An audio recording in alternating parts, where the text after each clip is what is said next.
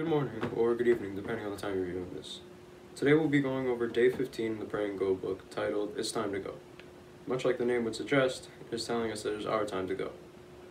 It details in the lesson how Jesus told the apostles that it was their time to go and spread his good word. In Acts 1.8 it says, But you will receive power when the Holy Spirit comes on you, and you will be my witnesses in Jerusalem and in all Judea and Samaria and to the ends of the earth. Wherever we go, we must be witnesses to God through our actions, through evangelical activities, or through outreach to others. This doesn't have to be to the ends of the earth, but it could be in our households, in our neighborhoods, in our friendships, or in our family.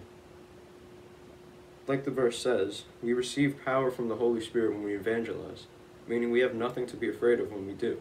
The Lord will guide us as long as we listen to His will. The goal for today is to go to 10 houses and to pray for the people inside of them whether it be a family, a single person, or a couple.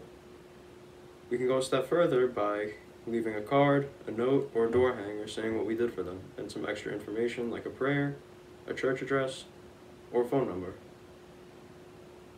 Something we can pray for is their awareness of God, that they're aware of His existence, their belief in Christ, that they believe He died for our sins, and their participation in the church, whether it be our church or another church. Let's close in word of prayer. Dear Lord, thank you for this day. Thank you for the time you give us. Thank you for giving us the opportunity to spread your good word. Please help us to listen to your will and give us your strength in it. In Jesus' name, amen.